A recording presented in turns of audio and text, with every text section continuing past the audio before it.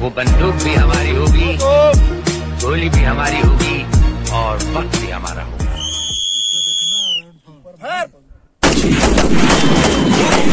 देखना